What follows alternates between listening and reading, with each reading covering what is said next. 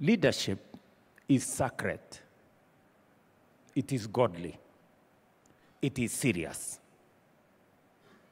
So don't take it lightly. I, I see many leaders who are elected, they come into office, or they are nominated for that matter. They come into office, and they think it's a joke. You know? They don't take it seriously. And in due time, you suffer the consequences of not taking your job seriously. I have told you leadership is serious, leadership is sacred, it is godly. Nobody becomes a leader by default or by mistake.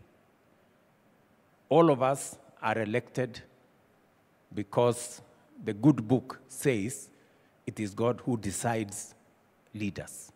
So you must take leadership seriously. Um, because leadership is serious and leadership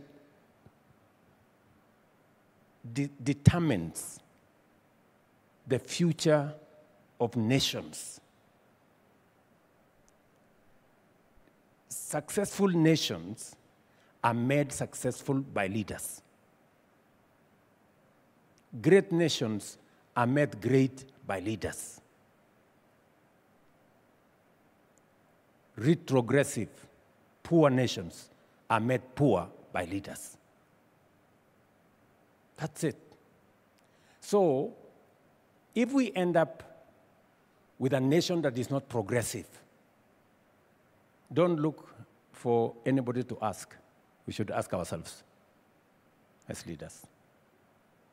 So we must take it seriously.